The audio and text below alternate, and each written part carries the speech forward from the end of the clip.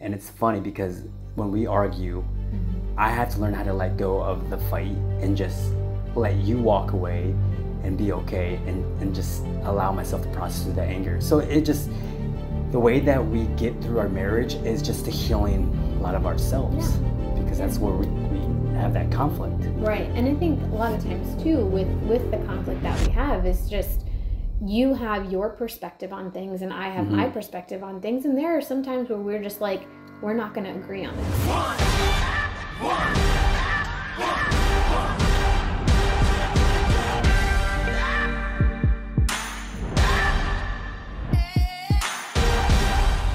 Hey guys, welcome back to another episode of 317 Wellness Podcast. I'm Jodie, And my name is Tim. and today we're going to be talking about a pretty juicy subject marriage. Yeah. So, we're going to be talking about the good, the bad, the ugly, things that we've learned along the way, things that we're still working Yep. on. Um, so, let's go ahead and jump in. Yeah, so let's take it back from the beginning where we first met. Yeah. I know uh, you had a daughter. Yes. The very first beginning of the our relationship. I I had a four year old. Yep. Yep. So I guess what were your thoughts on on that? Yeah. Were you nervous? Well, yeah, I mean, I was really, I had been focused on just raising her. Like, I really hadn't dated very much. It really wasn't something that, you know, I really thought about doing. I mean, I, I don't know, it was just more about raising her and her and I. And then I met you, and I liked you, and Yeah. you're cute, Yeah, and yeah. your values and everything just, you know, meshed with, um, with mine.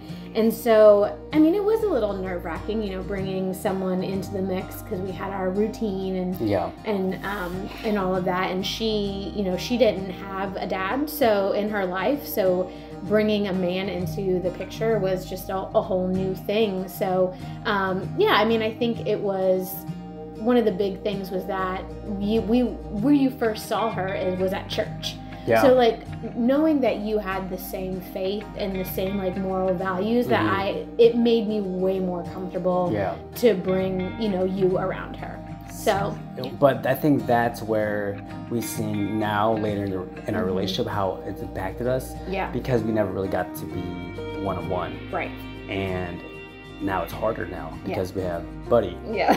So we jumped yeah, right. so we just went Yep. straight into having another one too. Yeah. How Yeah. long was that? It was just like We were married for three months before, yeah, we, we decided to expand our, our, our family again. Yeah. I mean, I'm older, so we didn't want to be like too much older before we had another child. So, um, so yeah, so then we, we got married. We had Mhm. three months married, and then I was pregnant with Eli. And so, you know, we've just always had Yeah, little always kids had around kids. in our relationship. And I think that I think that has been the biggest challenge for us, Mm-hmm. um, especially these last couple years, two years, Two years. two years. Yeah. Going through the newborn, then infant, and now Yeah. toddler, terrible Yeah. twos. Yeah. yeah. So we are realizing right now that Mhm. that we want to spend more time together because we're so separate right now Mm-hmm. Yeah. with the kids, and now and now it's just even more energy being expended Right. to the point where we don't really have much time for Mm-hmm. each other at the end of the night. Like we're exhausted by the time um, nighttime comes, and we sometimes don't really want to do anything. Right. Right. We forget about because we just talked about like at the we're raising the kids we're working we're both working jobs we're taking care of the house we've got the you know the business stuff our goals and our dreams that we want to work on so we've got all this energy expenditure. So at the end of the night a lot of times you know we want to just scroll or we want to just Yeah. watch something mm-hmm. but marriage takes a lot of effort and i think people really need to understand like how much you, you need to step outside of oh, yourself and what how much energy that takes to, Mhm. to be intentional and to be thoughtful for your spouse and we do not get that right a lot because we're still We're independent. right we're very independent so we want to do our own thing. Yeah, we want to do our own thing. Like we don't need each other to really fulfill each other, Right. but because we've made a commitment and we're married, we have to fulfill Mm-hmm. Right. each other. again yeah it's just these first five years it's growing and learning and figuring each other out and how to do this So the, I'm I'm on a whole journey about really self healing, Mhm. and a lot of the things that we, a lot of things that we go through, like a lot of arguments, a lot of the things that that trigger us, is from things that we were we were like as a child or things that we experienced as a kid. Mm-hmm. And for me, the anger and, and the loss of control was me seeing things Yeah. in Guatemala that I shouldn't have seen, and I think that's why I've had to learn how to process through my trauma as a kid. Mhm. Um, and so that way I can heal our relationship now, right? So I think that I think healing yourself and understanding what triggers you, why does it trigger you, why are you getting upset about this, or do you remember things that have happened in the past that are affecting your relationships now, right? Um, it's hard to continue being in the marriage with each other when we're both still angry. angry and Yeah. stubborn. We're angry, we're stubborn, we're individuals. So like we just want to kind of go our separate ways. So And prayer does bring us back together. prayer does bring us back together and it really heals us because it allows mm-hmm. God to remind us that you guys were mm-hmm. together, we're a team, we made a commitment, Yeah. we have to work through all this mess, we can't avoid it, we have to bring, bring each other together. Yeah. And God does that, God brings us together. Yeah.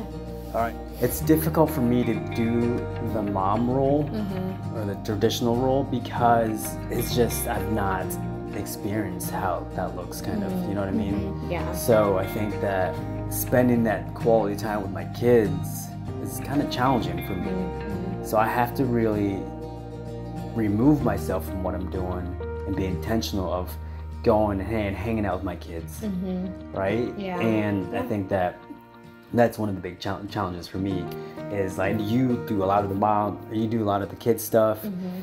but I know that, that that's not just should be not on you. It should be I should be stepping in and being like, hey, how can I partner up with you, right? Right, right. Instead of Yes. how can I help you? Because Yes, it's not, you. yeah, right. Yeah, Explain that a little bit. Explain. Yeah, so the help word for me is uh, trigger because I guess we'll just use the word trigger for everything. Um, but it, it is because as a helper, it makes it feel like it's still all my responsibility. So when you say I, I'm here to help you, I kind of want to punch you a little bit because I'm like that just makes me the responsible one for everything. Whereas when you say how can I partner up with you, it's it's being I guess you understanding or knowing what needs to be done and then just intentionally doing that is Mhm. really I think what a lot of us moms would, you know, would like to see in our partner is that you are aware of the needs in the moment and you just take the take something and, and run with it instead Yeah. of me having to stop and go okay well this lunch needs packed the, the diaper needs changed this needs done this you know like And I think that's something I struggle with Mm-hmm. because, like, since you handle all that responsibility, I come in and, and I have no idea where you're at. right. So that's why I ask you, hey, where can I help you with? Mhm. But I think from what you're saying is that I need to go in there, If you become just- aware yeah. of become aware of what's going on, and Mhm. just take action on what needs to get Yep. done.